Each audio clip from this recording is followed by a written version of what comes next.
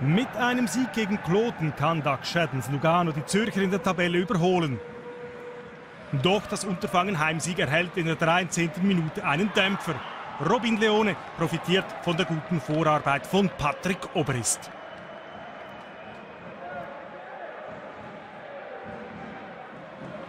Das erste Drittel über weite Strecken ereignislos.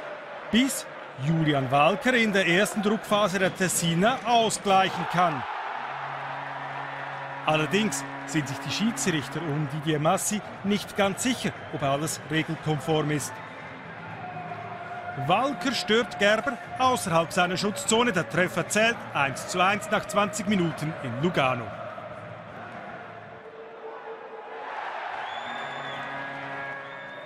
Lugano macht im zweiten Drittel Druck. Kloten wehrt sich nach Kräften und übertreibt es zuweilen. Ilari Filippula wird regelwidrig am Torschuss gehindert. Die Folge ist ein Penalty für den Lugano-Finnen. Martin Gerber behält die Übersicht, es bleibt beim 1 zu 1. Doch Lugano hat nun den Rhythmus gefunden. Linus Klaas auf Damian Brunner, Toni Martinsson verwehrt den Abpraller zur 2-1-Führung für die Tessiner in der 32. Minute. Nach 50 Minuten eine Überzahlsituation für Lugano und die endet im 3-1 für die Tessiner. Linus Klaasens Schuss tropft aus Martin Gerbers Ausrüstung ins Tor.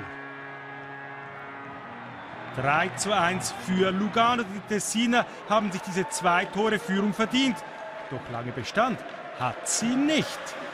Peter Guckisberg gelingt noch das zweite Tor für Kloten. Das ändert aber letztendlich nichts mehr am 3 zu 2 Sieg von Lugano.